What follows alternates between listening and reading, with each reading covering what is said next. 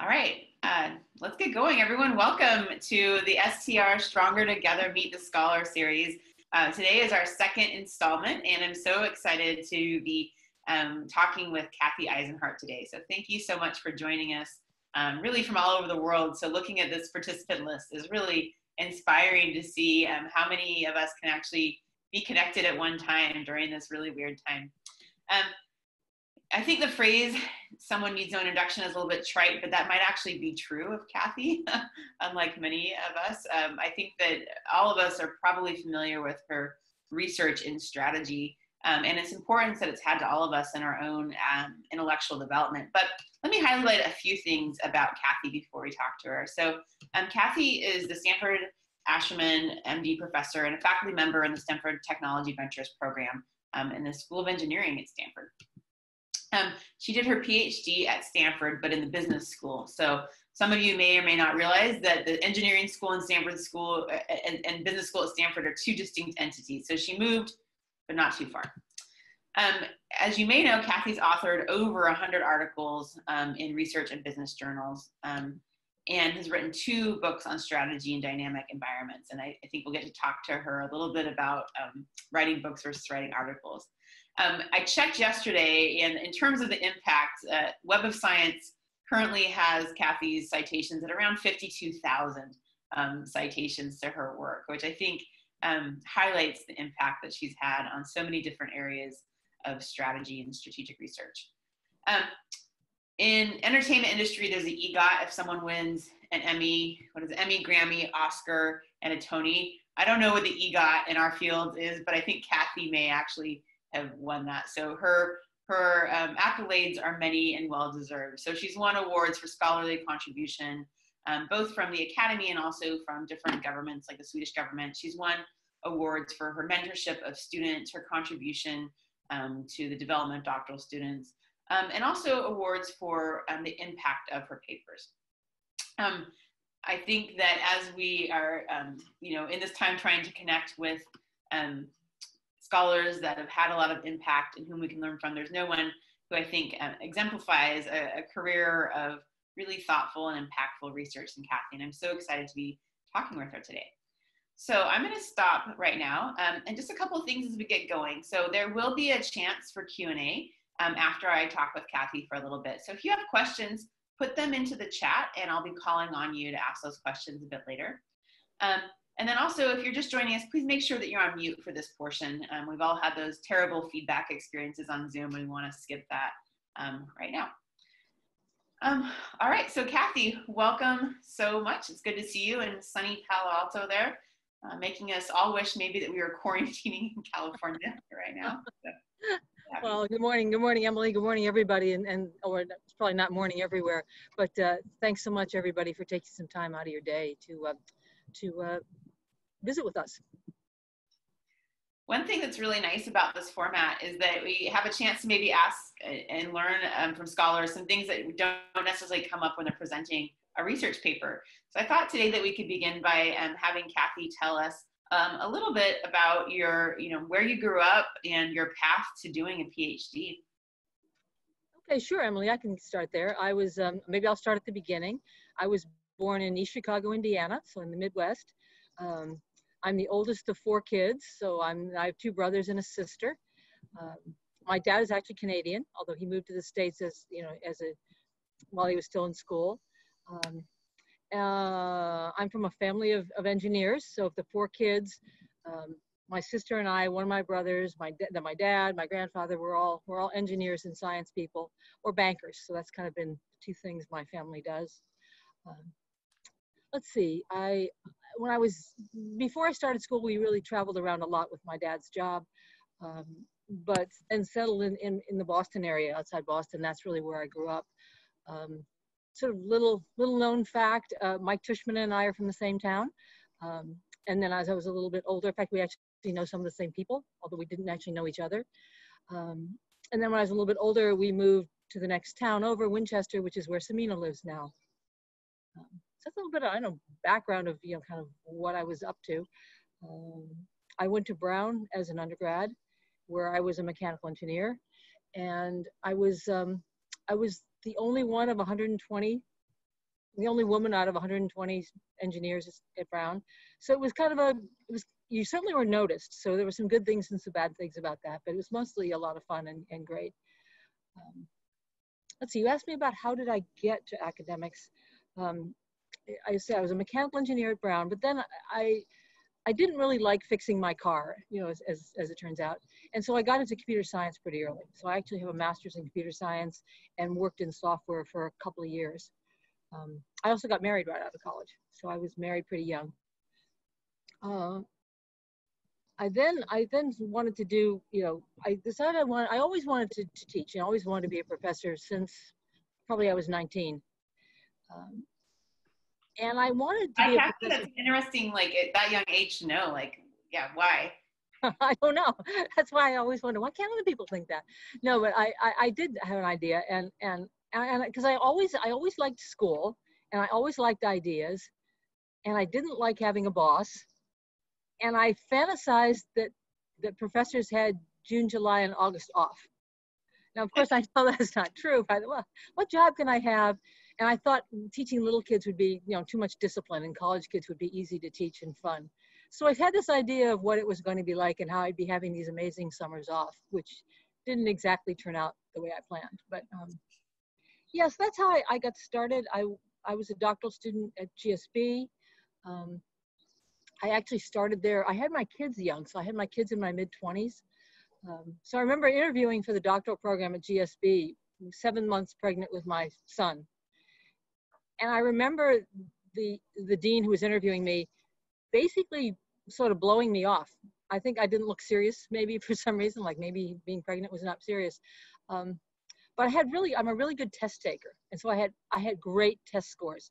So even though I had never taken a social science course and I'd actually chosen courses in college that didn't have paper writing, like I'd explicitly figure out whether it had paper or not and then not take a course that had a paper.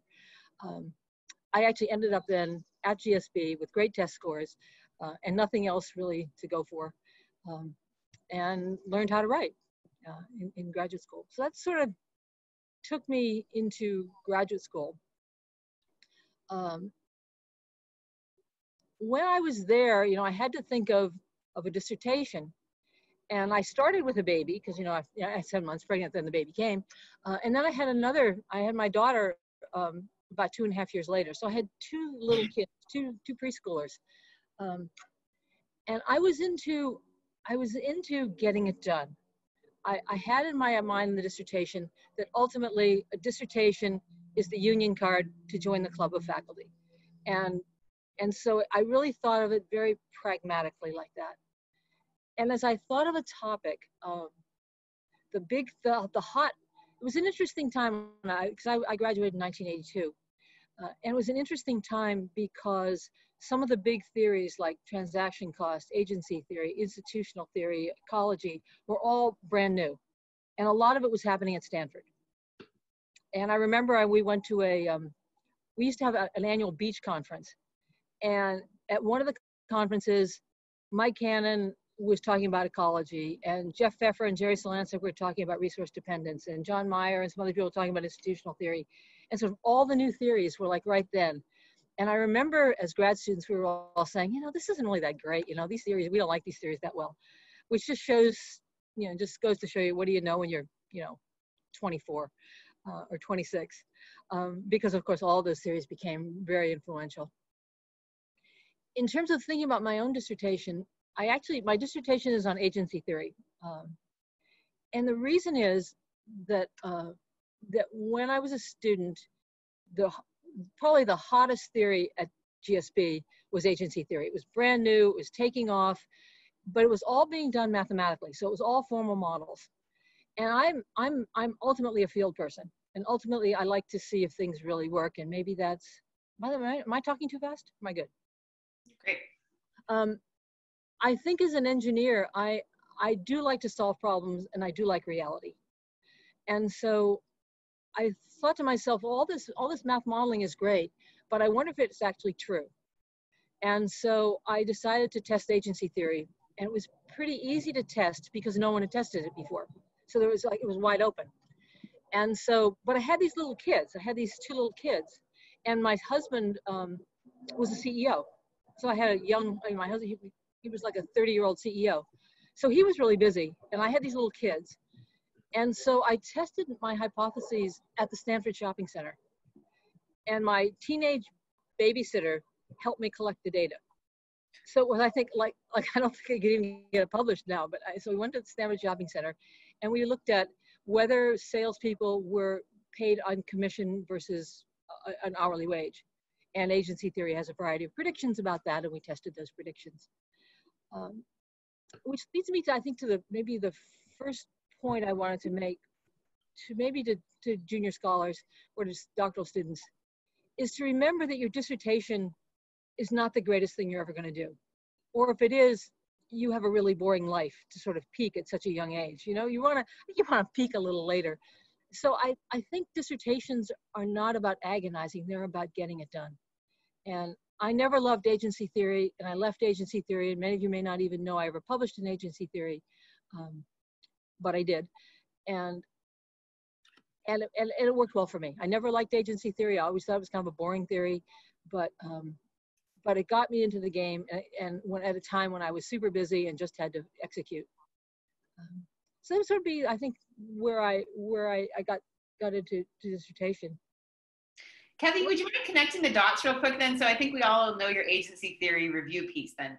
So you just said you didn't really like agency theory, you didn't publish it that much. Like connect the dots of that piece that's had like such an impact on, you know, all of oh, our strategy seminars, for example. Yeah, the agency theory paper. Well, um, what happened was, uh, I, some of you may know my, my colleague Bob Sutton. Bob Sutton was actually very influential for me, um, even though he was another junior faculty. But, but um, he had this slogan, three papers makes a stream. And so, and I think he was right. I think because the idea behind that slogan is if you just write one paper on something, no one remembers it and you don't have really any impact. But if you write three, you start to have a body of work that people recognize you for. And, and, and then people read all three, they don't just read the one. So what happened with my dissertation was I published an article in Management Science, and then I published what I thought was a great article in AMJ on agency and institutional theory. And then I did the AMR piece because I needed a third. And I wrote that AMR piece, um, which I think at least for a long time, it was one of the top 10, or top, top five actually, top five all-time AMR cites was, was that paper. I wrote it really fast because I knew agency theory really well. And it was at a time where I had a couple of papers that basically had no revisions.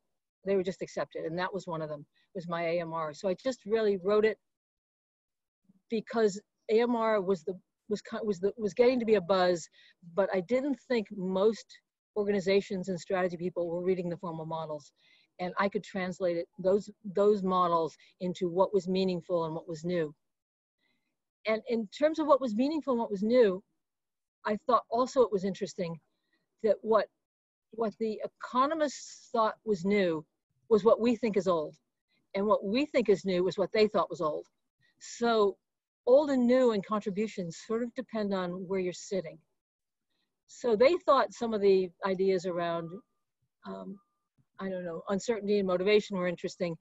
Whereas actually what was a novel, I think for us was more, maybe more some of the predictions around risk. So that, does that, does that connect the dots? Yeah, I think that's really interesting. So, and so you did your dissertation and then yeah. do you want to tell us about moving into an academic job and the questions that started getting you maybe more excited that you thought were less boring? okay, you're right. Uh, yeah, because I really I don't want to offend anyone who does agency theory. It just wasn't just wasn't my theory. Um, yeah, what happened was I, um, you know, my family loved the Bay Area. I loved the Bay Area, uh, and so I didn't want to move. So I figured out the way to stay at Stanford is to change schools. And changing into engineering was easy for me because you know I'm an engineer and I'm you know I have a whole you know background and family. We're all engineers, so it's pretty easy. And so I came to the engineering school here at Stanford, um, actually as an affirmative action hire. And as I think back at my job talk, it was a really pathetic job talk. But, you know, I guess it turned out the department got an extra billet if they hired me. So I think that was part of it. Um, but anyway, uh, so I ended up in engineering. Uh, what happened next was I, a, a couple of random things for me. Um, one was I started working with Kay Schoonhoven, who was a couple years ahead of me in the doctoral program. Um, and she was, her husband was very well connected in the semiconductor industry. And so we, I started working with her on the semiconductor industry. And then at the same time, Jay Bourgeois, who was also a couple years ahead of me, and he was on the faculty at GSB, we happened to be riding to a, we had this annual beach conference I mentioned before. We went, we were, we decided to carpool to the beach conference together. And we started talking about research ideas. And he was saying, hey, let's, you know, I'm interested in doing something on decision making, strategic decision making. I said, oh, that sounds really interesting. And then he said, yeah, and I think we ought to do it on banking or on the computer industry. And I said, well, you know, I thought, you know, well, my dean's going to way prefer the computer industry. Let's do the computer industry.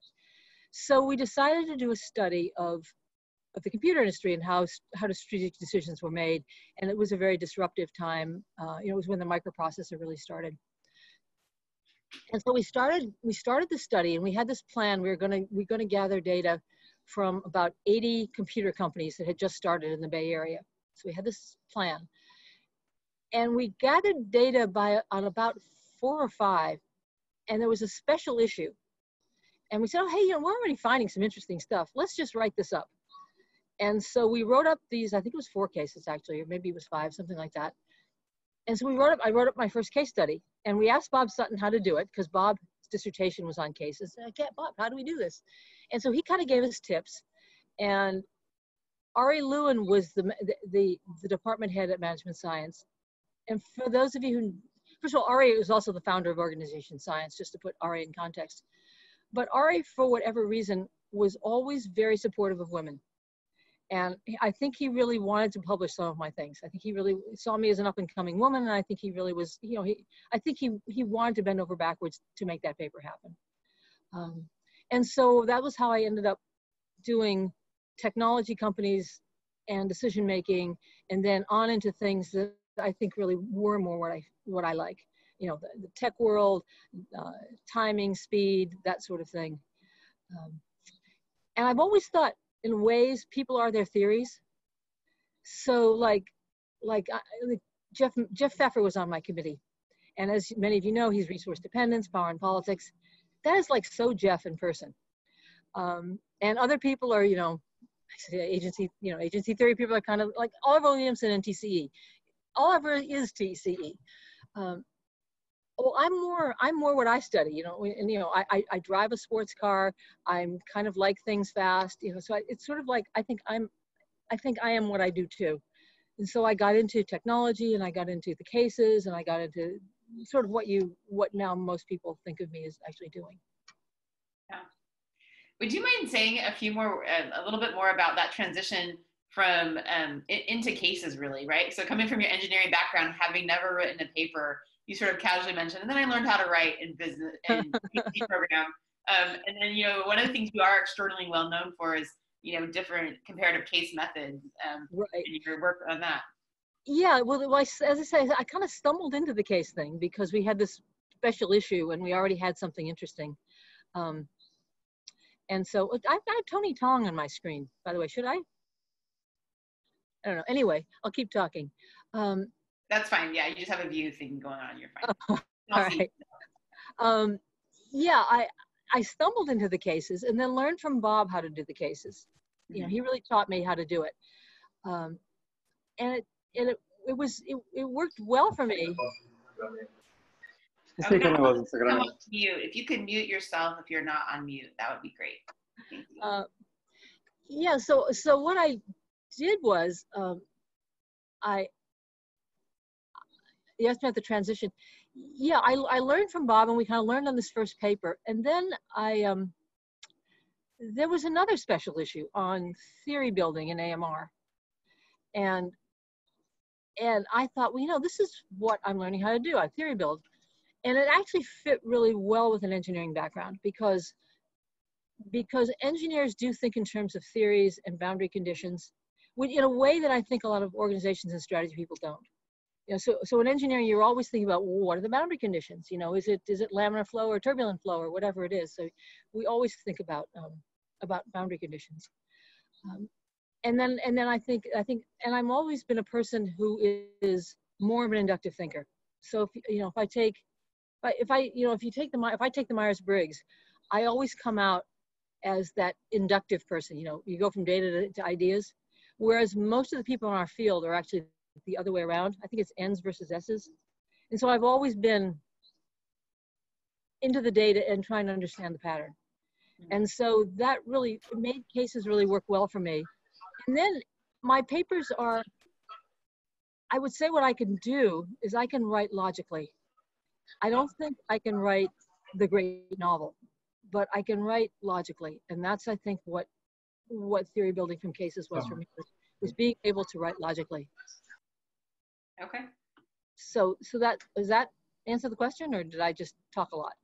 No, I, I think it's, it's just interesting to gain in, insight. I think that, you know, especially as a doctoral student, I think, you know, that learning how to write is a I think for many of us, myself included, we're still learning how to write, right? Yeah, it's, it's, it's hard to learn to write. And you do have to, I had to get used to people criticizing me because I don't think, at least certainly for me, and I think for a lot of people, you, you want to make your, your work so polished that people can't criticize. But when you do that, you waste a lot of time. It's really better. You should regard it, as I've learned, you should regard criticism as flattery because people were interested enough to take the time to read it to say something, as opposed to kind of, uh, uh, uh, uh, you know, great job, kind of, oh, fabulous job, I loved your paper, but yeah, they aren't, there's no real depth to that. Mm so actually I wrote, so then I wrote that AMR paper that, that got to be probably my biggest hit in the building theories. I wrote that about my own experience. So that was really very, a very autobiographical paper where, that I wrote with the idea in mind of what I would have liked to have known at the start of trying to do that kind of work. So I said, oh, I would want to know how do you figure out a research question and, and so on. So that was very much written that way. And an irony is that Bob was thinking about writing for that special issue too, about case studies and theory building. But I was already doing it. And he said, Oh, Kathy, you take that. And so I owe a lot to Bob that he didn't try to jump in and be a co-author or preempt me or whatever. And, and he sort of just let me let me go for it. And it and it, it's obviously become a very influential paper. And it's another one of those papers right at the time where there were there was no revision on that paper. That was just pretty much what I sent in was what got published but it was again very very much how what I wanted to know, what I would have wanted to know had I been writing, had I, you know, when I started. Yeah. One thing you just said was, you know, about learning how to take criticism.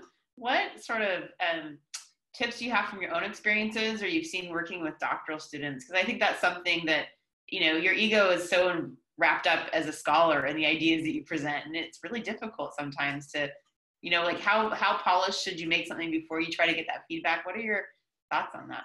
I i think i think i try to give feedback and i also I take it better. If if people say something good about what i'm doing so oh you know you did this and this and this really well but you know here's where you could improve. Mm-hmm. and so i think that style of criticism works better. I think people receive it better when they when they get some pats on the back of, of, of the things that they're doing well and when they get when they get the re- reinforcement of what they're doing well. So I'd say that was probably what I've learned about giving criticism and now getting criticism I actually don't care that much. But you know, but that was this is now and that was then in yeah. terms of caring. Yeah. Um, one thing that, um, so uh, in the introduction, I neglected to say that I've benefited from Kathy being a co-author and a mentor. She was on my dissertation committee. So, you know, I, um, I got experience working with Kathy as a doctoral student, as a junior scholar, but you know, I know that many of us are aware of your engagement with doctoral students um, and how many you've had. I was wondering if you could tell us a little bit about working with doctoral students, advice you have about when junior faculty should jump in, and even how, um, you know, what makes it an effective collaboration for you. Yeah, uh, yeah, doctoral students are, are, tricky because a great, a great doctoral student is such a joy, and a not so great doctoral student is like, oh my gosh, you know. So, so I guess my advice would be, early in your career, you should work with more senior people. So I learned a lot from J and K when we worked together. Um, and so I, I would say early on, it's best to work with more senior people because the review process is something you have to apprentice and experience. You can't just read a book about how to go through the review process. So I think early on, I would stay away from doctoral students. You know, maybe be on a committee, but not work with doctoral students. also, if you're too junior, the doctoral students don't necessarily respect you enough. So it's got to be a little bit more distance. Uh, but when you're a little, when you're, you know, you're a few years into your career, I think it can be useful to co-chair with somebody who's more experienced. Um, which I, I did, I, I, didn't, I didn't experience that myself, but I did that with both Riitta Katila and Chuck Eesley. Their first doctoral student or two, we, we actually co-chaired. And I, I like to think they learned some things about with working with students. As far as my, my own working with students, um, I, I haven't actually thought of my own research project probably since my dissertation. I'm, I'm not that good at just coming up with an idea. I'm better at taking an idea and seeing the promise in that and seeing where you could take that idea. Um, and so, in, example, in your, in your dissertation, Emily, seeing what how institutional theory was really the story you wanted to tell. Mm-hmm. Um, but so I so I've always been I've always had this um, I don't know uh, kind of formula with doctoral students of they think of the topics and as long as it has something to do with technology firms, they can think of whatever they want. But it's always kind of in the box of technology firms. And I can then, I think the value I add is tweaking the question and the focus and saying, well, you know, if you turned it this way, if you turned it that way, if you asked the question this way, you'd have a better dissertation.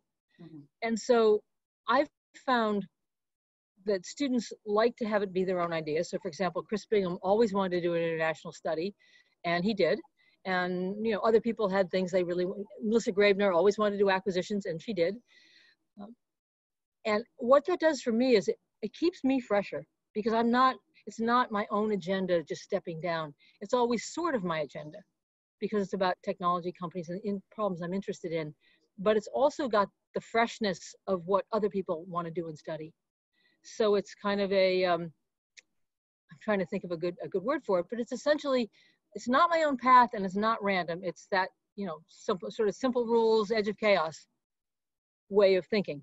So I'm getting some randomness from the students and I'm getting some, some, some structure around the somewhat narrow topic area. I think the other thing I'll say about grad students too, PhD students, is if it's not working out, you should let them go. You know, you know that at Stanford we have a kind of a two-year review. If somebody's really not not getting it, they're not going to get better in four years. It's, you know, they're probably a smart person in the wrong place. And so I'm a believer in, in letting people go and, and move on with their lives if, if this isn't the right career for them. So I end up with always working with really fabulous students. Um, and I think students that maybe we did let go, I think we're happier in, in another place. Um, thank you. You just mentioned um, simple rules. That's one thing I think that's you know interesting. Seeing the last um, you know decade or so, you're moving into writing a couple of books. Do you want to talk about your experiences writing books as opposed to research papers and um, why you decided to do that? Um, yeah, I, I, I wrote my first book, Competing on the Edge, uh, with Shona Brown. Uh, and Shona was a, a great doctoral student, but when she when she finished, she really wanted to she didn't want to be a professor. She wanted, she, so she went to work for McKinsey. So she was a perfect student to work with because if you, as a as as an advisor, if you're too involved in your students' world, they don't get to be independent. You know, in the academic world. But that wasn't true for her at McKinsey. It was actually a plus for her to write a book. Um, I wanted to write a book because I was tired of 35 page papers and because I wanted to have an impact bigger than just the academy. Um, I, I, maybe I'll, I'll segue slightly to a piece of advice. I think my, my advice would be to focus on being a great academic to full professor. You know, don't get off the track. Don't suddenly develop your consulting skills just because you just got tenure. I would say stay focused on becoming a full professor. And then after that, you can do all sorts of things. And the thing that I wanted to do was um, was write was write a book. And I wanted to write a book that was that my colleagues would respect and that business professionals would really like. And we were able to do that with Competing on the Edge. That was a book that sold almost, probably almost 100,000 copies. So it was sort of an A minus hit. It won the Terry Award at the Academy. Um, and it took me to another world uh, where I started getting speaking engagements. There's like, there's like orbits in academics. And I got into the orbit of talking to CEOs. My clients were CEOs because it was a fairly sophisticated book intellectually. You know, it was, based on complexity theory, um, and and CEOs are are interesting people typically and interested in ideas, and so it took me into that world. It took me to Davos, um, so World Economic Forum. So I, you know, I was standing in line with Madeleine Albright or Phil Knight or Michael Dell complaining about how, how we don't like lines or, you know, what do you do for jet lag? So it took me into this whole other world of people and impact and influence. And it was uh, pretty amazing from that standpoint. And the other thing that it did for Shona was when she decided she didn't want to be a consultant anymore, her first job was Google. And she was the VP of basically all of Google except search. And a lot of our ideas from competing on the edge were then she implemented at Google. So it was pretty exciting to see Google doing our stuff. Um, so that's where competing, but then, then what happens after competing on the edge was um, in the, in, in the sort of, in the, in the Davos, um, you know, executive world, you're, only as interesting as your, as your newest idea. I need, I, I kind of ran out of ideas. And so then I pulled back and went back into research and PhD students. So, you know, Melissa Graebner, Filipe Santos, Jeff Martin, Chris Bingham, Pinar Ozcan, sort of a whole string of doctoral students. Um, and I started developing the simple rules ideas, which had come out of competing on the edge. It just wasn't that explicit. Um, and Don Sull and I, who was my co-author on that, had been talking about simple rules for a long time. And, and I wanted to work with Don because he's a great guy. But I also wanted to work with Don because he can write in a way I can't write. And so in Simple Rules, which we published in 2015, um, that book, I wanted to write a book that my friends would read. I wanted to write a Malcolm Gladwell book. So a book that wasn't just a business book, but that was a book that lots of people would read. And that was my, my goal in that book. And I wanted to write, yeah, I wanted, basically I wanted to write a Michael Gladwell book. And Don had better writing skills than I did to do that. He could turn a phrase. And then his son, every so often, his son had been president of Harvard Lampoon, and his son could really turn a phrase. And so every so often we'd say, Charlie, take a look at this chapter and tell us how we could make it cooler. And he'd do that. So I wanted to have a book that in that book that was bigger than a business book and that was really the, a broad audience book. And it was very fun because what I ended up doing for the promotion of that was I was on radio and television doing all sorts of things. Like I was on the Rand, I was very big on the Rand Paul network because it was a, it's, it's a small government book. Um, I, I did I did sports and brewskis shows. I did you know Portlandia back to nature type shows. I did all sorts. I went to Wall Street, so I did all kinds of shows and, and talking to kinds of people because simple rules could be about you know how do you get a better internet date or it could be about your business it could be about a lot of things so it was really fun from that point of view to do that book. Um, I also realized at the end of the day that Malcolm Gladwell does write better than I do. Um, and there's a reason why he's a journalist and I'm not. But it was it was it was a fun it was it was fun to do because we I got to write about you know insects and sports and and companies and I got to write about all sorts of things. And so if you read that book, most of the sports examples are mine. Most of the war and business examples are Don's or finance examples. Um, we kind of mix on some of the, the nature stuff, but it was just fun to write about stuff that was different. And now I'm back into more of the research world again. Um, thank you for explaining, like sharing that sort of path for us. It's really interesting to hear how you decide where you know your ideas are developed in a book or a, a, a um, paper format. Um, yeah, I'm, I'm a big believer that that that many full professors should write books. That if you just stay in the 35 i mean you could also be a dean or you could be a journal editor you, but you have to be something other than just 35 page papers your whole career i think. You, know, you got to find something else that's different and i think books is one of the ways you can be doing something interesting impactful um, taking you to new worlds kind of thing yeah that's a great perspective on the sort of opportunities that this career path affords right we get so focused on tenure and maybe promotion of full, we forget that there's a whole world out there. Yeah, and you can become like like like Samina is obviously taking leadership roles in editing. I, I personally don't like editing. Um, other people become deans. Other people you know write books. So I think and then people go through phases. I think and and, and change their game. Mm-hmm. That's great. Um, just a reminder, everyone, in a few minutes we'll open it up for Q&A. So if you want to start putting questions into the chat box, I can start calling um, on you in, in, a few minutes there. Um, one um, sort of final question, and you've hit a lot of these points here, Kathy, but as you think about the students, the junior scholars that you've worked with, um, that you've sort of seen different things, what kinds of general themes or advice would you have on how to kind of, you know, get through this career that can be so stressful, particularly finishing the dissertation or getting tenure, um, and kind of sustaining the energy to um, have a career where you're excited to write a book 15 years later or whatever it is? Yeah, yeah, I know it's, it's a hard career because we get so so little positive reinforcement you know, I, I, you know, like all of you, I get a review that says I loved your paper, and then it's three pages of why they didn't love your paper. Um, but I, I do think those couple things I said before, you know, for junior people, don't think of your dissertation as your best work. Work with all, work with more senior people to get to learn how to to learn how to deal with the review process, and then really consolidate around that. Three papers makes a stream. I think I think those are the key the key ideas um, that I'd say. Um, and then I, I, I don't know that this is always possible, but I've always a bit tried to catch the wave, sort of see what's coming and be there. Um, so whether it was agency theory or, or qualitative research, or, or I, I just did something on machine learning. Um, I, I sort of like to see, okay, what's happening? And kind of, kind of being out in front of that.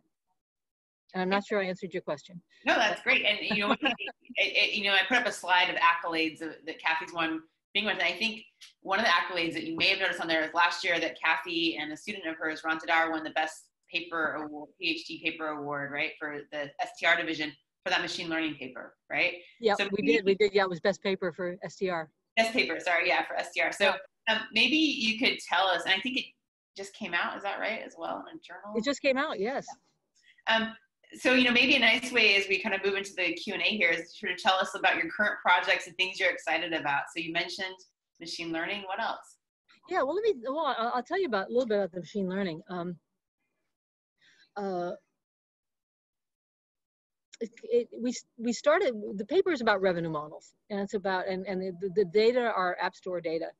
Um, and we want to understand what what are what are the optimal revenue models and is it you know freemium or or, or, or free or what whatever.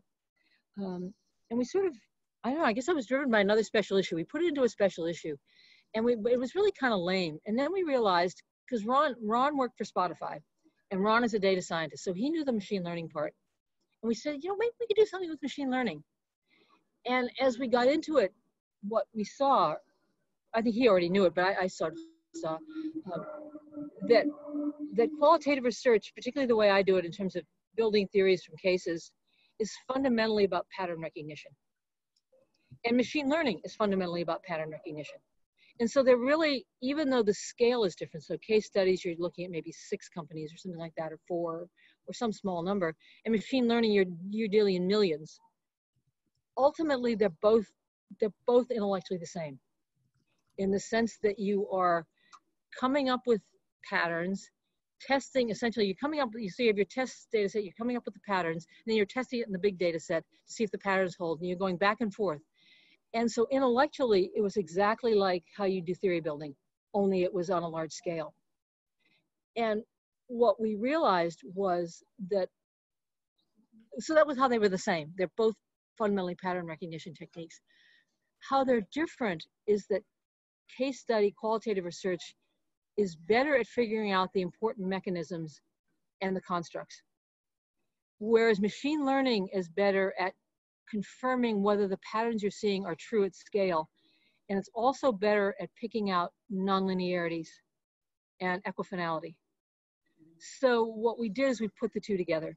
And so, so the, what the, the methodology that I think is exciting in that paper is that we had this app store data where we had millions and then we cut it down and actually the actual sample gets smaller and smaller. So it's only maybe about 2000. Um, first we did fishing and I think that's okay to do fishing if you say you're fishing. We were fishing. And then we did case studies and machine learning is a cross-sectional technique. It's not a longitudinal technique. And so we did cases, but the cases were cross-sectional. So we'd look at an app and see what the revenue model is and then try to figure out, well, why is it that Robinhood uses freemium and why is it that Open Table does this and why is it that uh, the New York Times does that? You know, New York Times is, is, is, a, is a price model. Um, and why is some free? So we sort of like tried to figure out why the, why the models were different. And we, we did about 40 cases and we stratified the sample where we'd look at about 40 apps and we looked at successful ones and failed ones and we looked in different categories. And we looked, you know, in, in categories where where free was dominant, categories where paid was dominant, and categories where freemium was dominant. We also looked for a counterfactual case. So, so a company that was free, that was a free app in a paid category. So we tried to look for counterfactuals. We tried to, from a case point of view, say, okay, what are the drivers of the successful apps in terms of their revenue models?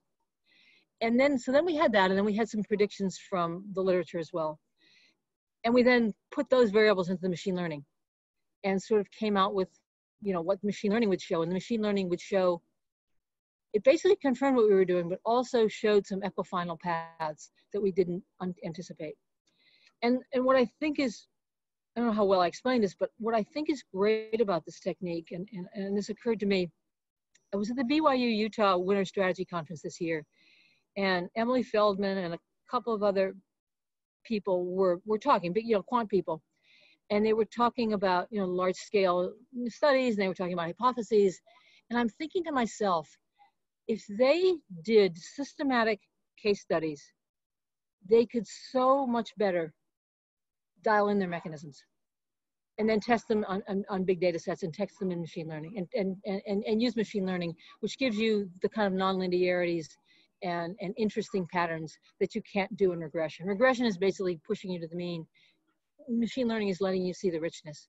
And so I think the real, the real excitement from a method point of view is, is this idea of, of of seeding large scale analysis, particularly machine learning, but, but, but, but econometrics as well, with systematic case studies to nail in the mechanisms and, and, and the constructs in a much better way than simply sort of guessing or maybe randomly talking to a couple of people you happen to know in, the industry. Um, so I think that combination would really serve the field well to, to do that.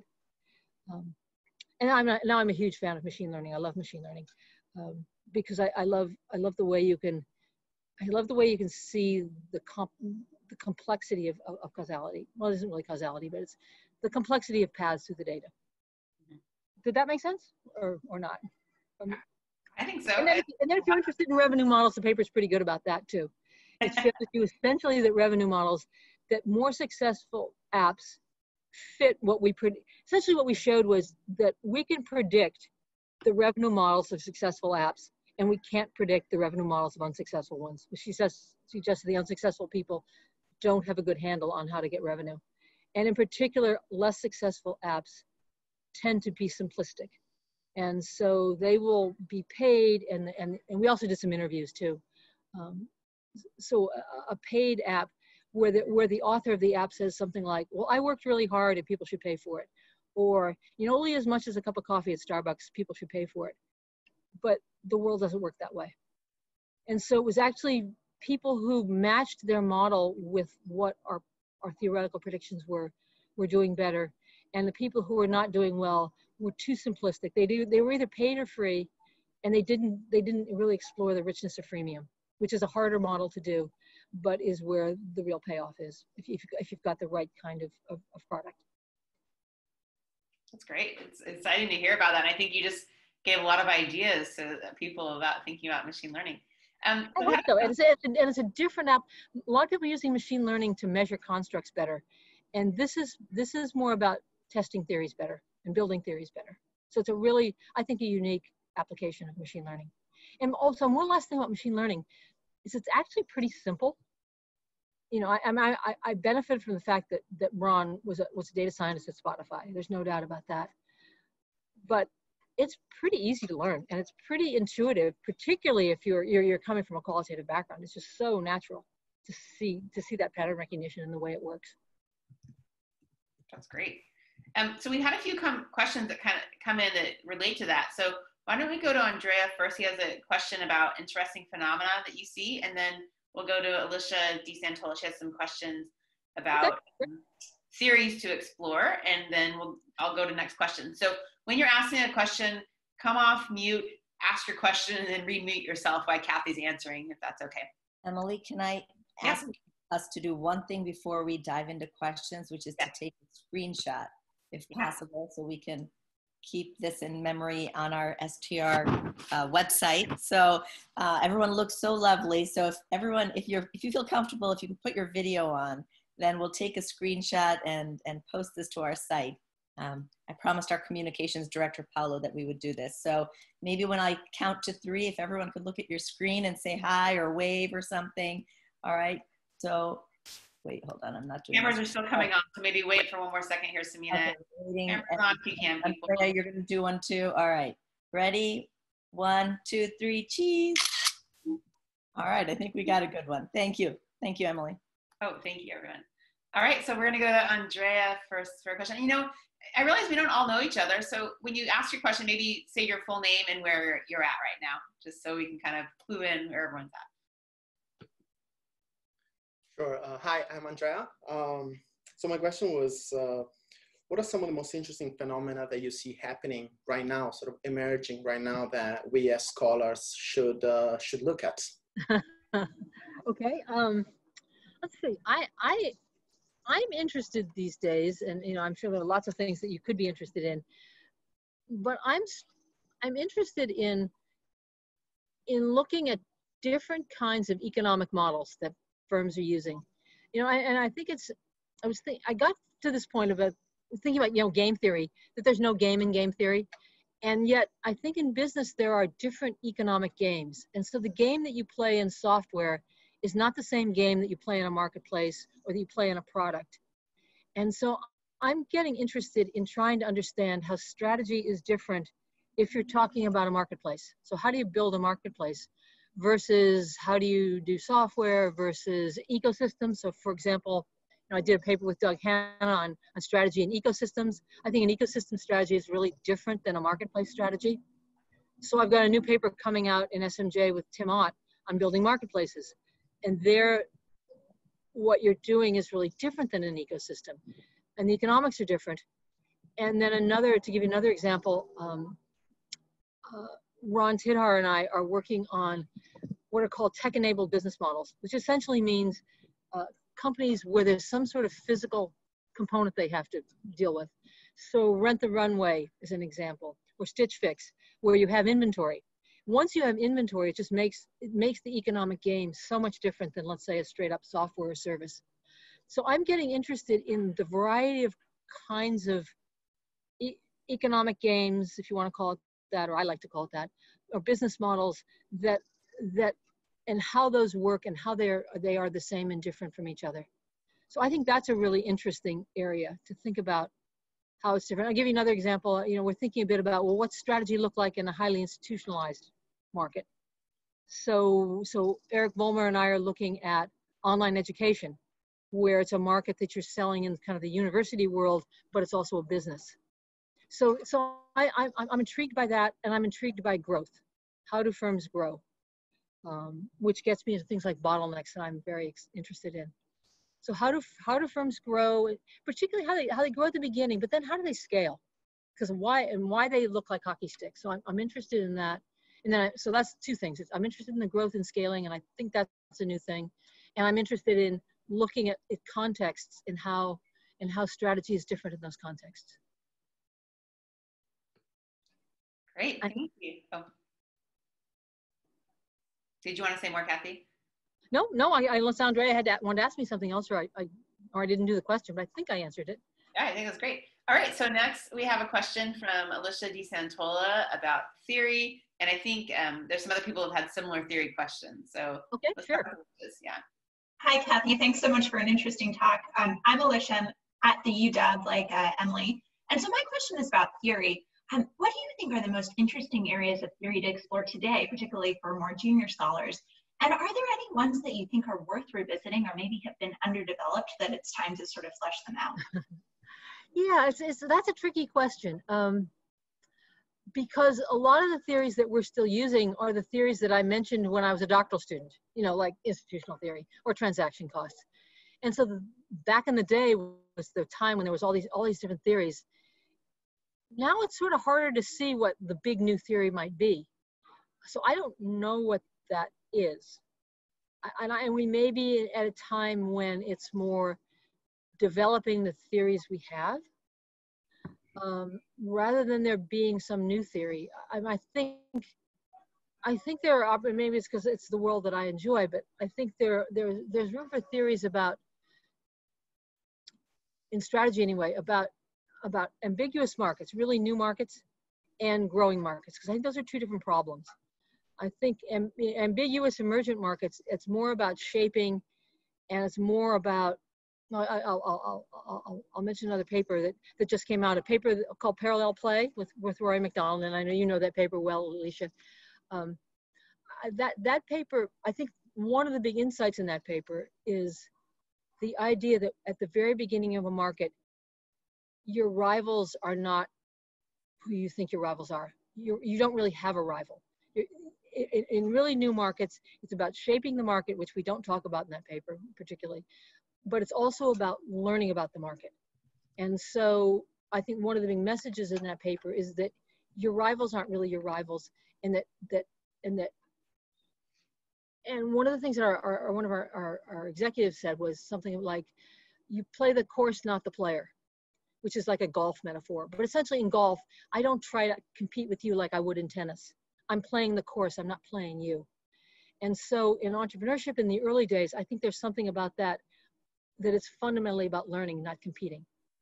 And I think that's and that's what makes really new markets strategically different than growing markets. Where I think growing markets is more about rivalry, is more about uncertainty, is more about timing and speed. So I think all of those themes we know. I don't know that I or anybody's pulled it into a into a point of view yet, but I would say that's a place where there could be a point of view. Um, there could also be a new theory coming from another context you know, like the Chinese context or some culturally different context. And I don't know what that theory might be. I mean, so far I see I see things about China, it mostly kind of looks like here in, in the meaningful ways, but that's probably not true. So I don't know if that went took me took me too many places, but that's I'd, I'd say it's around the difference between an, a, a, brand new ambigu where ambiguity reigns, where it's about shaping and learning, and growth markets and much more about uncertainty and moving quickly. Thanks, that's really interesting. Thanks. Great. Okay, next we have a question from Dongil Keum um, about how location matters and where you're at. So Dongil, if you want to come off mute and ask that, tell us how to pronounce your name. I'm sorry if I've said that right. It's okay. I go by Daniel. So hi, Kathy. Um, it's, it's I guess it's more of a personal question on how just being in Los Angeles, California, and in, in in Stanford campus and being so close to Silicon Valley has impacted you personally and as a researcher. And for people who are in the middle of nowhere, how can we uh, emulate sort of the model and benefits of being in your place? Okay, is, is, this is this is Danny. Is that is Danny Kim? Is that no? Who is it? Um, so I'm Daniel uh, from Columbia University. Oh hi, hi Daniel. Um, yeah, I think I um, I think obviously have benefited from being in Silicon Valley, although I also try very hard to have most of my studies not just be Silicon Valley studies.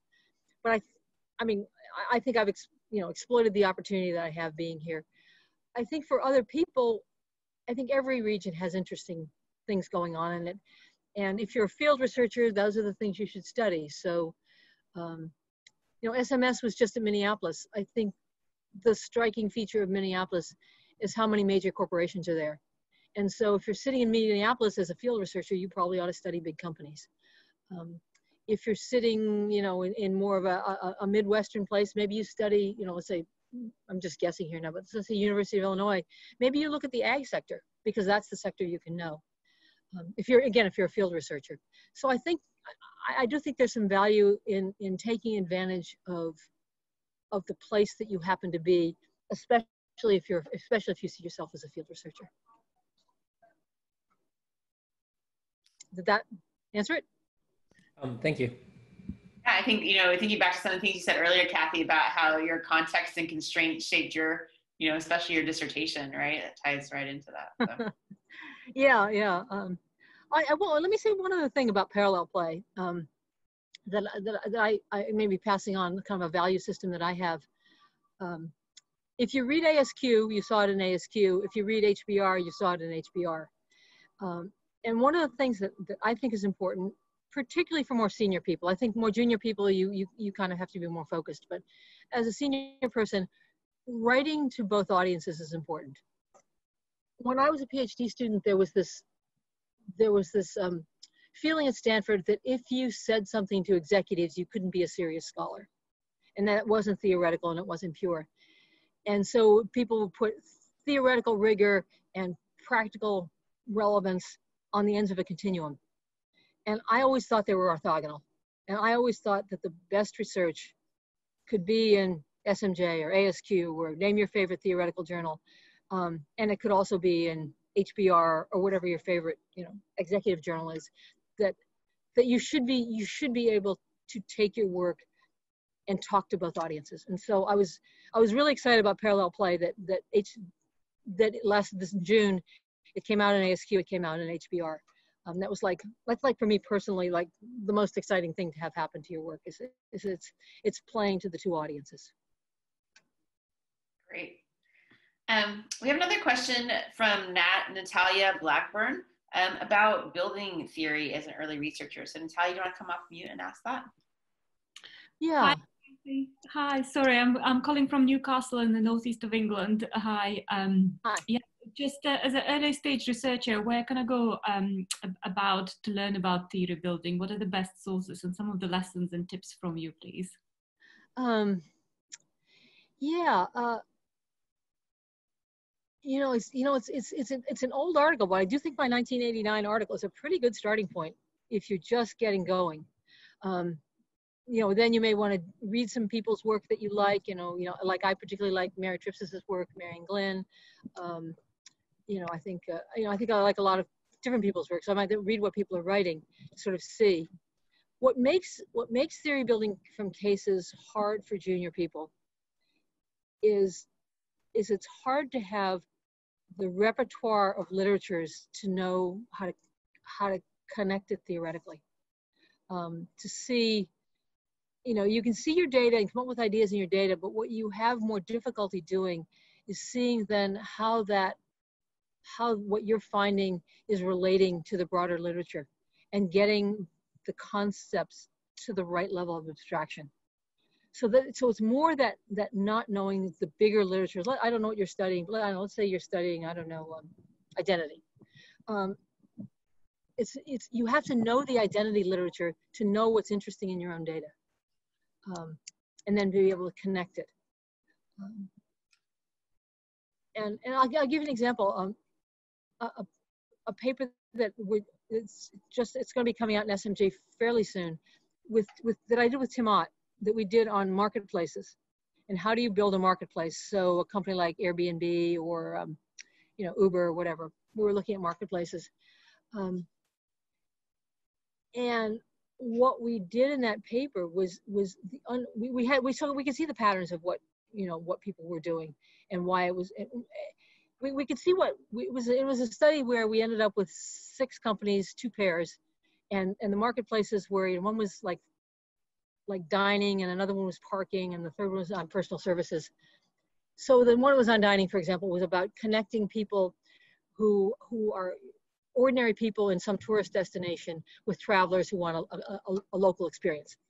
So it was connecting, for example, um, a, a, traveler to Southeast Asia with with um, a host, let's say in Hanoi or Bangkok or somewhere, and you can go to their house and you can have food. It was a marketplace to connect that. Um, and so we, we could see how how there was a way that you would build a marketplace because the underlying problem is it's a complex novel problem. So that's the first thing we could see is because I kind of knew about much about problem solving, we could actually see the deeper, it wasn't just about, well, how do I connect travelers? It was seeing that the problem was a complex novel problem and know the problem solving literature and know that that was actually a contribution in that literature. The other thing that we could do in that paper is we could also tap into the psychology literature.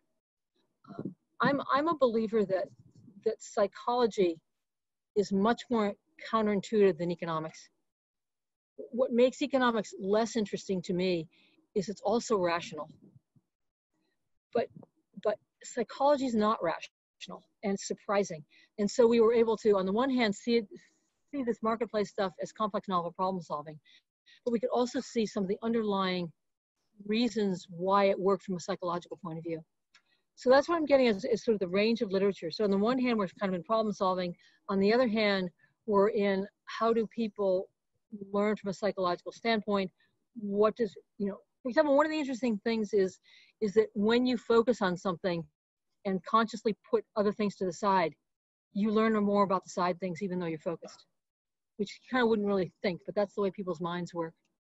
So, so I think one of the challenges for junior scholars in, in, in doing case study research is not being able to, not have been in the field long enough to be able to connect to the literatures that make the paper interesting, to make it more than just about marketplaces. Uh, which is, market, marketplaces are interesting on, on, their own, but to see it as a, as a deeper problem. So I don't want to be discouraging though, because I think, I think you have to start, and I think the review process can help you.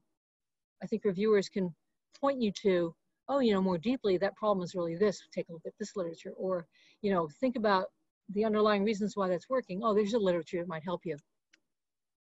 So to go back to the paper on parallel play with Rory McDonald, um, our reviewers pushed us towards optimal distinctiveness, which is a you know big construct in organization theory, and that was really helpful. So your reviewers can push you to to the things you're maybe missing.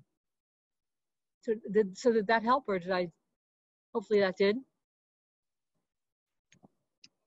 I think so. Thank you, Kathy. Um, thank oh, you. Natalia, you want to say something or? Yes, thank you. Um, sorry, did you ask me? Did I answer? Basically, I would I would start I would start with I think my 89 paper is a pretty good starting place, and then go to the authors and the topics that you're interested in and see what they do. Thank you. I think many of us start out, and many of us start out copying somebody else. And I know I copied Bob Sutton. Um, and you probably will find the person you copy. But I'd go copy somebody. Yeah, absolutely. Thank you. Great, great advice. Um, next, we have a question from an up and coming scholar, Costa Mar uh, Costas Markides is going to ask a question. Oh, not Costas. ah, hello, Kathy. How are you? Uh, thank you very much. Thank you very much. Wonderful insight. So we look forward to having you back to London very, very soon. Hopefully soon enough. Uh, Kathy, uh, I've asked you this question many times before in person, and I think it's important to ask it uh, over Zoom as well, which is you have um, been, you have remained research active, research productive, extremely successful in that over many, many years. And really, what is the secret to success? How can we remain so passionate about research and publish at the same time as we go through our career? Oh, well, thank you, Costas. Um, I, I would say the, the big thing for me has been my students. My students come, they're always, you know, they're new, they're fresh, um, they have ideas I haven't thought of. So like the machine learning, I mean, I, I was kind of curious about machine learning but then Ron shows up at my doorstep and knows how to do it. Or, you know, somebody else comes up with an idea and wants to do something and, and say, oh, that's cool. So I, I think the students have kept me, kept me fresh. Um, I think the other thing is just get better at doing it so it's not as hard. Although I will say I'm pretty sick of reviewers. I don't know how you feel about it, Costas, but I'm kind of like kind of over reviewers. So um, so I'm think I'm actually thinking about writing some books now. I'm I'm kind of like oh, I don't think I want to do the review process anymore. Um, and how do you keep the passion, Kathy? I think it's the new ideas. I, I mean, I've always been an idea person, and so I'm doing the machine learning, or I'm doing this economic games thing, or I'm doing, uh, you know, it may sound a little boring, but you know, this idea of looking at at, at how does inventory change the way you do a venture, I think is it's just the sort of it's, it's a new thing. So I, I enjoy that um, yeah, so I, I don't I don't know. I, I, I enjoy. Maybe it's also because, um, you know, I was a little bit of a slow starter. I probably didn't publish my first paper for maybe three years or five years or something, and it took a long time. I have a, I had these little kids. You know, I mean, I, so I was the CEO husband and little kids, so you can imagine who was minding the kids. Um, and and I wanted to be hands on with my kids. So I was I was a bit of a slow starter, and then um, so I you know in some sense I, I think my my age is I'm, I'm actually younger in my career than my age, although maybe I'm not that young as I think about it. If I'm talking about papers 30 years ago. Um, anyway, that's that's that's what I what I've been thinking about Costas is I think it's it's, it's the students are fun, um, and they take me in places that I hadn't thought of. So it's always something new. Thank you, Kathy. So you are a wonderful example for all of us to emulate. Oh, well, thank you, Costas. Um, yeah, and it's nice, you know, thank you, Kathy. Also, I think during COVID, a lot of us are thinking about childcare and family commitments, you know, and it, it's nice that you mentioned that, you know, that is not necessarily something that held you back, right? So I think that's a hopeful message for a lot of us right now. Yeah, you know, the, the hard thing about your, your 30s is you have your kids and you have your career and you only have a 24 hour day. You know, so you really need that 35 hour day, but you don't have it. Yeah, so it's tough. Um, thank you. All right, so next up we have a question from Ransim um, Kuragu um, and, uh, about writing theory papers as a junior scholar. Okay. Shall I? Uh, yeah, ask shall I Okay. Uh, well, I'm a junior scholar and I'm not positioned in a, you know, very reputable university. I'm basically located in Turkey, even, even though it is Turkey's best university. So um, many of my colleagues are criticizing me because I'm trying to write theory papers, but that's my passion. I read a lot. Uh, I want to synthesize. I want to create different concepts. I want to introduce new ideas. But uh, as I mentioned, many of my colleagues are criticizing my strategy. Would you recommend giving up and uh, prioritizing um, empirical works for junior researchers? Well, if, yeah, if you mean theory, like just straight up theory and no data, like I, yeah. I differentiate yeah. between straight up theory, no data, and case study research, because case study research is driving from data. I think it's very hard to write straight theory without data or formal models or simulation or something and just write it out of your head. Um, it tends to be not very interesting. I mean, it's, I mean, you might be a really, you're probably a really smart guy, but you probably, like the only person I can think of who did that was Herb Simon, and most of us aren't Herb Simon. Um, so I think it's hard to do that. I, I, I would say just, just theory. I think you can do qualitative research. I think that works. I think simulation works. I think other things work, but no data type papers. It's very hard to be original and interesting. It's very hard to do that because you don't have the repertoire of, of, of understanding how things fit together. Um, so I think it's hard to do that. Um, I'm also a pragmatist. I mean, uh, you know, coming from a science engineering background, we are about getting it done. Um, and so I'm more inclined, like to say to someone like you to do kind of what I did with my dissertation was I don't love agency theory. I don't care about retail sales compensation very much, but I know what I need to do to get the job done, to be at the place where I can then be the person I want to be. And so there is that process of, you know, you got to get tenure and full, and then the whole world opens up for you.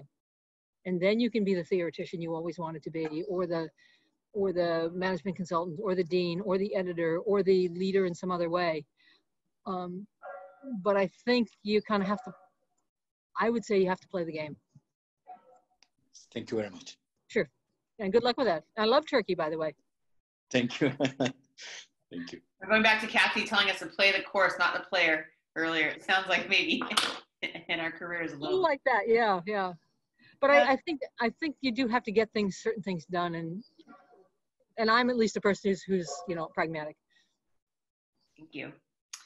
Um, all right, next up we have a question from Elena um, about the future of different research methods. Elena, sure. you, there you are. Hi everyone, hi Kathy. Uh, thank you so much for sharing all those interesting insights. So, um, I mean, we, we all know like that you wrote those intellectual pieces on different research methods, case studies, simulations, you know, about machine learning. I understand you also uh, right, working on a, a formal model. So I was wondering, like, what's your, uh, what are your thoughts about you know, which methods you see as more uh, promising? Uh, do you, how do you see them working together? Yeah, um, I, I, I, guess I see. Yeah, I, I am, I am actually working on a.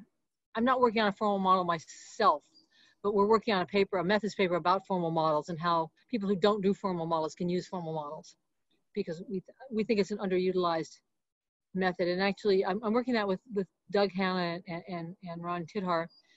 And Doug did a survey of, of what kinds of papers are most cited and controlled for, you know, status of the person, the authors, and so on. And formal models are the least cited papers um, as a type, whereas actually qualitative research is the most cited of all the, of all the sort of methods. Um, you know, on cites per paper.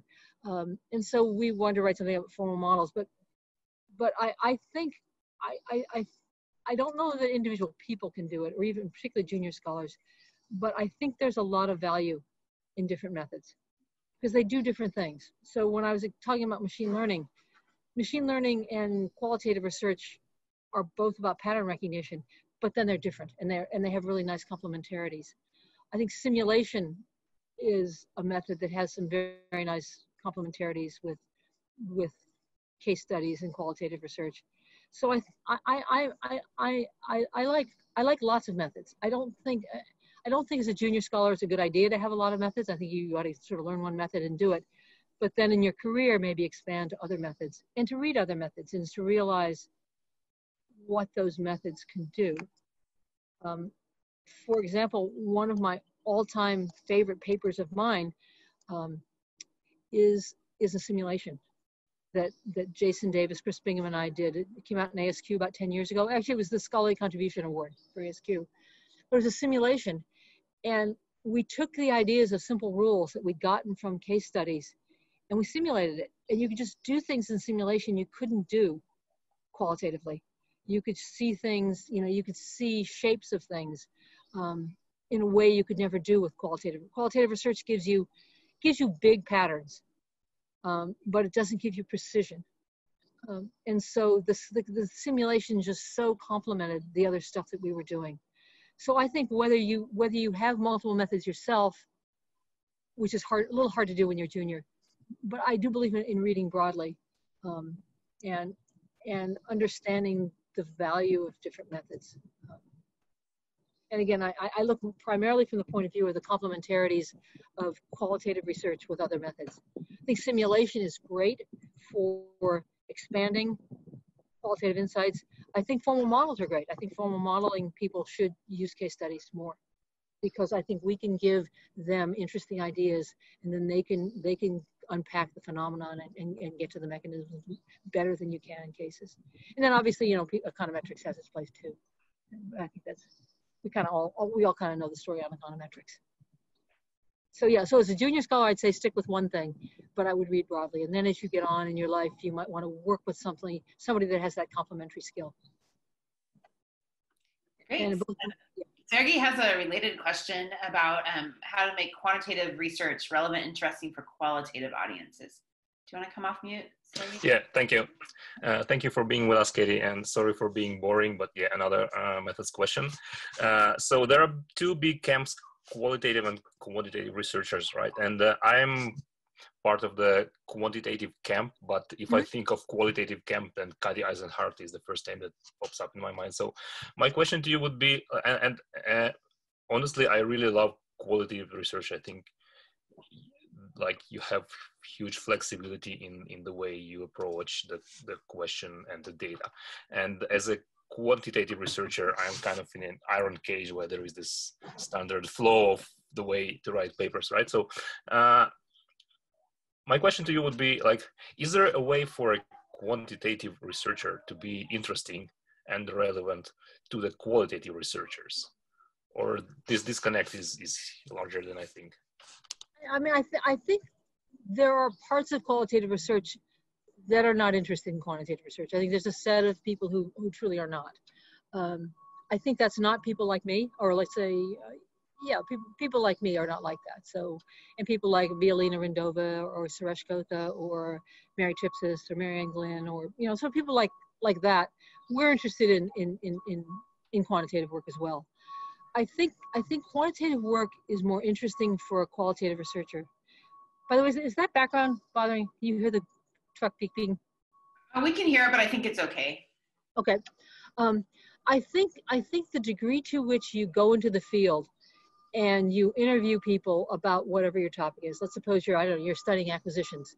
Then you get out in the field and you talk to, you know, 10 people even. You know, it doesn't have to be like some big deal, but just talking to 10 people so that you have more of a sense of what your variables mean, what the causal structure, what, what, what the likely causality is.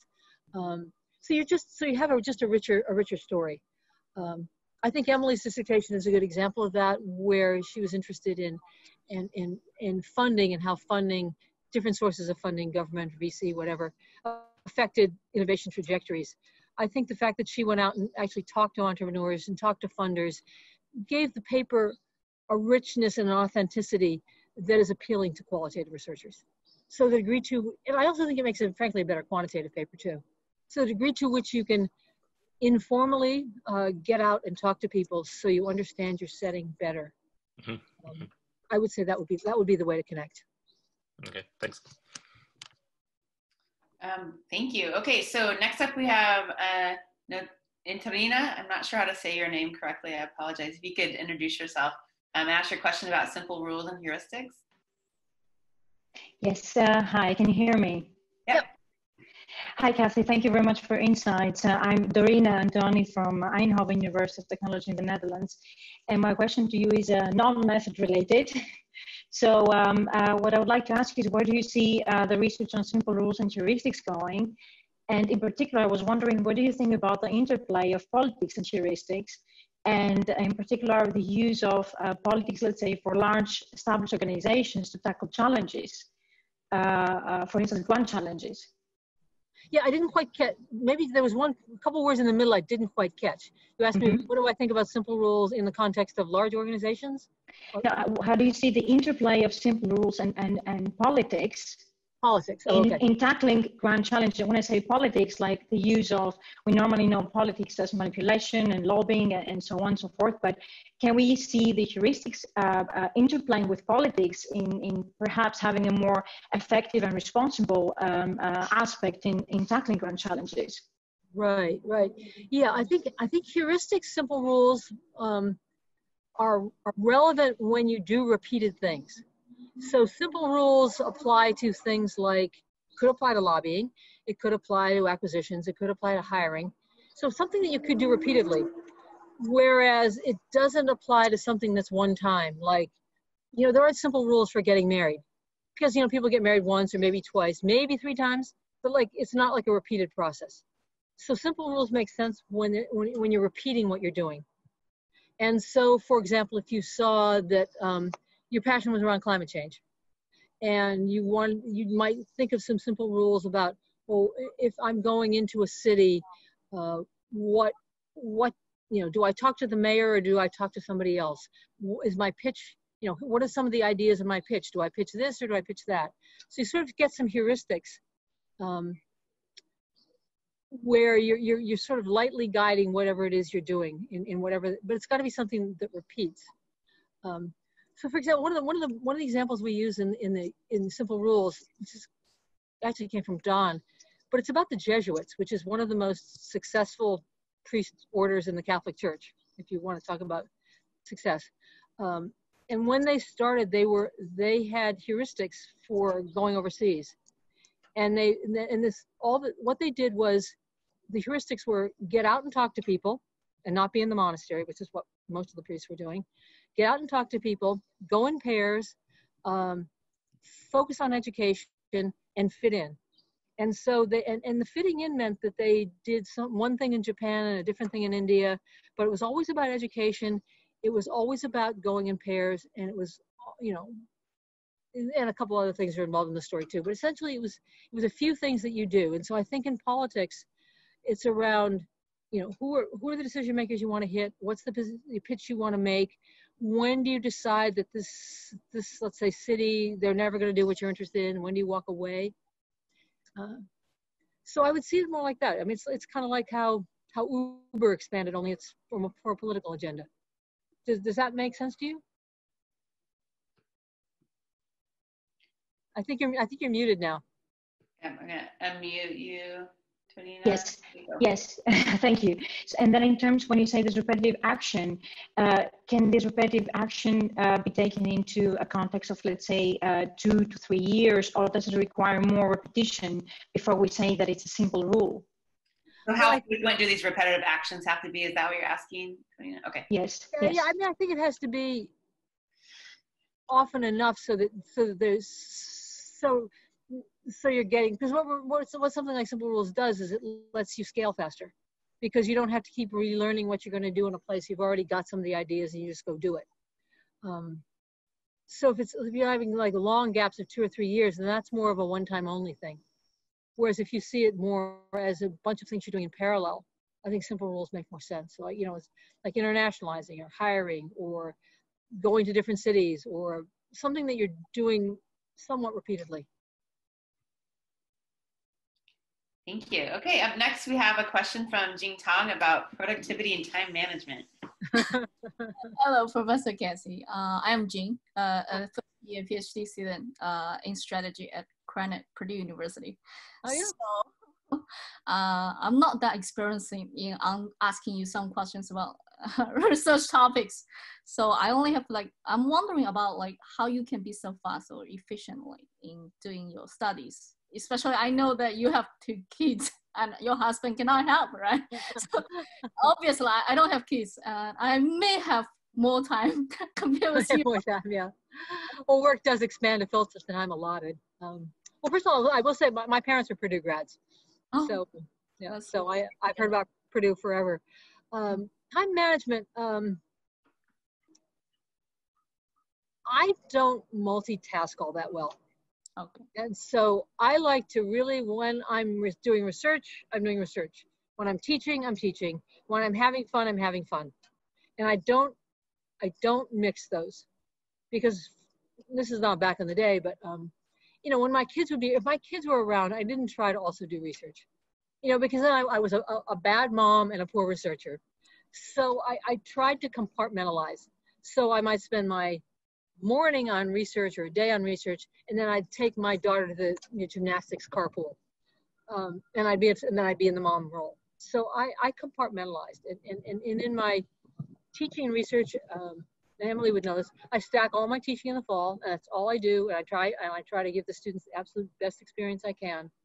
And then, end of the fall quarter, I don't even want to hear from them. I'm now in a different place. So I, I found that focusing because there's so much switching cost. So I, I find focusing, and then also then, but then you can focus too much, let's say, on research, and and and, and then lose sight of the fact that you need a day off. So I I would I would structure a day off, time off. You know, maybe you, you know, a lot of people need to exercise, so I would have an exercise time. Um, so I would also structure. You need a fun time. Uh, you know, so you have to structure in your fun before you have your fun time. Um, it's quite hard to have fun here in West Lafayette, but yeah, we'll try to have a fun time. um, but well, yeah. you know, or, or, you have to redefine fun. I don't know. Just just one eight up question. So, uh, when when you have like uh, multiple research projects carrying on at the same time, and probably you will get frustrated because one project didn't work out very well. And so, how do you handle that? How do you still focus on other projects? So that's actually. Oh, if one doesn't work out well, um, I don't know. I haven't had a bad project in a while, so I don't know what to do. you know, I, I yeah, I well, I've had I've had papers that's found no love. Um, this is actually another thing I learned from Bob Sutton, and he had, I mean, he must be the man of slogans, but he was every paper has a home. And so, and then he would say, just put it in your drawer, and someday, sometime, you will find that home. And I think that's kind of true. You know, okay, I don't know what to do with this thing. Nobody likes it. It's not working. Put it in the drawer. And something will happen, like there'll be a special issue on that topic or a book chapter or something. Or somebody else will see that paper and see something in it that you missed. So I would I would I would cut my losses and put it in the drawer. And some things never come out of the drawer, but most of the time it will come out of the drawer. But I wouldn't keep, you know, trying to you know, squeeze blood out of a stone. The next question is actually related to that topic. So Tunde, if you want to ask Kathy your question. It is. Hi, everyone. Hi, Katie. Can you guys hear me? Yep. So I'm Tunde. I'm based in Denmark, where I am an assist incoming assistant professor at Aarhus University. And what I'm interested in is what we cannot see by reading your CV. So what are the characteristics of the projects that you ultimately decided against? As a junior scholar, I'm especially interested in this because uh, whether you have any advice on how to say no, uh, especially to senior people in our field. um, well, when I was at your career stage, I, I, I got overcommitted and did too many things at once. And it was actually not, I mean, it, it worked out in the end, but it was actually not good. Um, so how do you, I mean, I think you can, one of the interesting things about saying no to senior people is that sometimes senior people will ask you to do things and they think you should say no, but they ask you anyway. Well, this is particularly service, but it's other things too. So they'll say, oh, you know, they'll ask you, and they'll actually be happy when you say something like, you know, I'd love to do that thing with you, but I've got these other things to do and I just got to get these done. So I think you think they're going to be more upset than they are. And in fact, sometimes senior people are asking you to do things that they think you should say no to. And I don't know why they're asking you exactly, other than it's good for them. Um, but I think if you if you can honestly say, I'd love to do that, or maybe you wouldn't love to do it, but you say that, um, but that you, you say a couple other things that you're doing, you just say, you know, I just have to prioritize these other things. I think most senior people, most people get that, that you have to prioritize and you can't do everything. As a junior, you said yes to everything? I did too much. Yes, I did. Um, and I was basically I, I got to working with both K and J as I mentioned before, and you know, the K project was quant study, but it was, had a lot of field stuff in it, and then the other one was another thing. And I had for a while there I had too many things to do, and then I had my kids, and you know it was just it was just really too crazy.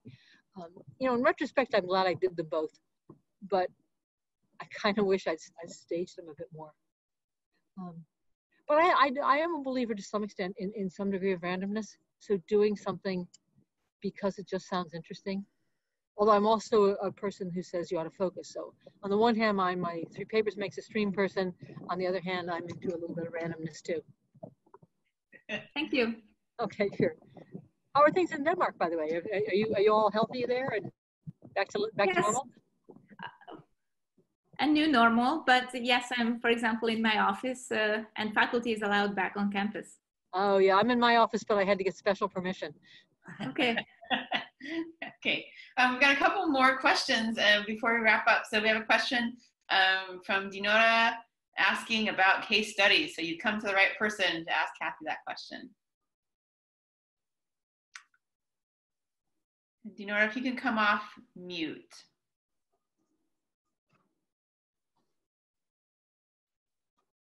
All right, maybe we'll come back to Dinora. So Dinora, if you're there, send me a chat and we'll come back to your question. Um, Joost, you have a question about identity. Oh, hey, Kathy. This is uh, Joost from uh, UCL School of Management in London. Oh, hi there. I, we've met, right? Yes, we have. Yes, we have. Yes, yes. Um, thank you for your insights. So you talked a bit about um, your early work on agency theory, but you're also very well known for a whole bunch of different things. So I wanted to ask you about the importance of identity as a junior scholar and what are some of the things we can do to kind of establish that identity? Yeah, I think identity is very important for a junior scholar. Um, when I came up from my mid-career review, you know, it's like three or four years or whatever it was, um, I had a very hard time because I was both writing, writing an organization theory and writing in strategy. And I was playing to both audiences and it became crystal clear that that was a bad strategy. Uh, and so I, my, my, more, my, my more core identity was organization theory. And so I, I forgot about strategy and wrote an organization theory. Um, and so I think as a junior scholar, you do have to pick an identity and you have to pick a community that you're talking to. You might even have a list at your office of the influencers who are going to write for you in your community and you have the, the, the 10 names and you're saying, how am I connecting with these people? but, and you have to do three papers makes a stream and you have to you know organize a pdw or a session at the academy or something but you have to pick something and you have to i think not agonize too much about that because you have to keep in mind the long game of you have to have that identity for a few years and then you don't have to have that identity. So I, I think it's a huge thing early on to have an identity and a focal group you're talking to and a focal set of journals you're writing to. Um, so you become the guy or the woman on whatever topic it is. Um, and you're that for a while so that when people like me write letters for you, I can say, oh, Joost, am I saying that right? No, I'm probably not. It's Joost, like, like toast. Yeah, Joost like toast, thank you. I, I can, I reckon about Joost. Joost, Joost is the leading junior scholar on blank. That I, I can write that sentence. Um, and that's what the people who are reading the letters want to, want to read. Um, so you have to, even though it might not be, I know, you know the, the guy from Turkey before was saying how he wanted to do some other things. I, I think you have to, you have to be pragmatic about, about focus and identity and, and, and getting yourself known. That's another tip I'll, I'll share with you. Um, I mentioned Jeff Pfeffer was on my committee and he gave me probably the best, some of the best advice of my career between Bob and, and Jeff. Um, but Jeff said, you know, Kathy, you do great stuff, but you have to market. And it was sort of like novel to me. Oh, you mean I have to market? And he said, oh yeah, you have to market. And so you have to have substance because nobody wants a bunch of marketing that's not substantive. But once you have substances, you have to let the world know what it is you're doing, how your work connects with what they're doing. Create occasions that you can talk to people, events that you organize, and, and become the guy in your case of whatever it is. Great, thank you. That's very helpful. Thanks, yeah, Kathy. Thanks a lot, Yost. Yost like toast. Well, and thank you, Yost, yeah. everyone else whose name that I have mispronounced. I appreciate your patience and feel free to send me an email or a text and uh, next time I'll, I'll try to do a better job on that. Um, Dinora, Dinora, are you there? Did you have a question? Okay. Yes. Oh, great. Yeah. Okay. Okay, thank you. Uh, thank you, Kathy, for all your insights. I'm from Brazil. I'm from the south of Brazil, actually. Uh, my university is Univali. I'm a professor here. I'm studying internationaliz internationalization process. Uh-huh. And I'm, I'm, I'm doing some qualitative research and I'm always, and sorry for my pragmatic or positivist question, but how many interviews uh, in a case study are you suggesting? Because uh, I'm, I'm found some reviewers that has blocked my, my research about it. Just about number of interviews. You know, I, um, I don't think there's a really like a, like a fixed number and it some depends on what you're studying. So like if you're studying product innovation, you'd probably have a lot of interviews. If you're studying um, acquisition, you might have only a few. So it sort of depends on how many people are relevant to what you're talking about. And are you getting a rich set of perspectives? I think in general, I'd say my studies probably have 60 to 80 interviews. I think that's sort of a guess. But again, it's, it's about it's about what the topic is and and and who is relevant in that topic. In some topics, only a you know, small set of people are relevant, and other topics, lots of people are relevant. And I think it is about numbers, but it's also about the variety of people that you're talking to. Um, so are you talking, let's say it's acquisitions. Are you talking to the buyer and the seller? Are you talking to the intermediaries? Are you talking, you know, so you're talking to the right people. So it is about numbers, but it's also about the triangulating the perspectives. Thank you. Sure.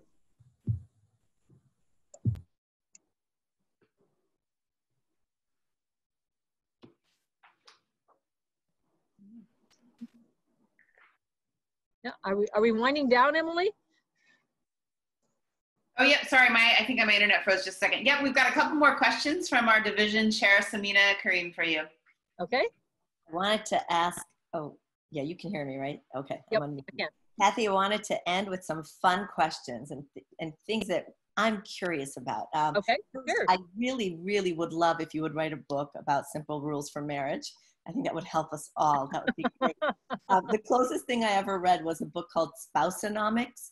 Um, that, was, that, was, written by two women, which is a fun read for everyone. Okay. Um, so I would love to know what you do to unplug. Like when do you you're you do so much and it's so clear through your students that you're so active and as Costas said you're a role model for us all and I think many of us struggle with how to unwind or unplug and my question is do you get a chance to do that and how do you do it how do I how do I unplug um I unplug I I uh, I just have certain times that I just like like this past weekend I was in I was in Lake Tahoe I have a house in Tahoe and I was up with my family and um, we have no television, we have no internet, and you know I can get I can I can communicate with Emily on my cell phone, but otherwise I can't. So I I I, I do shut off. I, I try not to send emails on the weekend, for example, because then people send me back emails. Mm-hmm. So if you don't send, you don't get.